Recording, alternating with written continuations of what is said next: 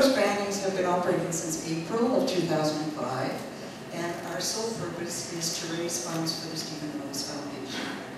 And the reason um, that we raise funds for the Stephen Lewis Foundation is because they've dedicated themselves, they form a foundation to raise money to assist the grandmothers in Africa who are coping with the most extraordinary circumstances you can imagine in terms of a whole generation of parents being lost, to the HIV, AIDS pandemic, which has devastated sub-Saharan Africa and wiped out a generation of parents. So we now have aging grandparents, grandmothers, in fact, who are struggling to raise these grandchildren and get them to school if possible, but to help them to survive primarily.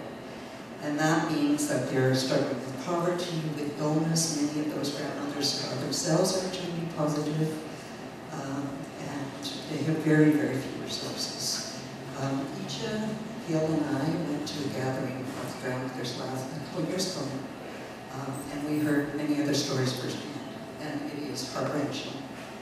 Um, so the pandemic, I mean, we've heard different stories recently. Uh, initially, we, we heard that by 2010, when we're celebrating the Olympics, there will be 20 million orphans in Africa. They've since um, lowered that figure somewhat, but it's still around 15 million. and um, they need our help. The reason we support the Stephen Mills Foundation is because it's primarily, primarily the work they're doing, but also because it's a very leading organization. They guarantee us that 90% of the funds we raise and send to them will go directly to Africa. They have got such a system on the ground that they can give money to African agencies within five days. So if, so if there's a crisis here or here, they can send money almost immediately. And they have a huge network. Every project is monitored. They now have projects in over 15 countries.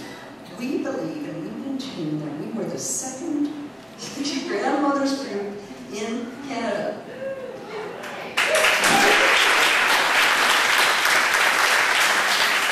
So it is a social movement, and um, and it's worthy, I think. Um, let me see, where- the Stephen Mills Foundation itself, in a very short period of time, has reached over two million dollars distributed. Well, they raised more than that. That's how much is distributed so far to Africa. Uh, we got a boost um, uh, when Steve came here uh, a couple of years ago. Remember that, many of you. Students' Union brought him in. And the Students' Union selected us as a recipient and sponsored us. And we got to go on stage with Stephen Mills. Here you can see us right in the little brochure right there with Stephen Mills. And, uh, the, and donated uh, $1,500 $1,500 to help get us going. So we have the Nan Go Grannies is a small group. There's usually only about eight or ten of us operating at any time. We've raised over twenty thousand dollars in percentages to the foundation. Um, mentioned, and I went to the Gathering of the Grandmothers, which was a three-day conference that preceded the International AIDS Conference, uh, World AIDS Conference in Toronto.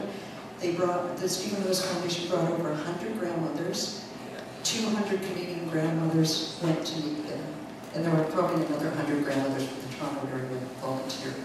It was, a, it was an amazing event. Like, we were laughing, we were crying, we were dancing, we were hugging, we were singing, and it was, it was just amazing.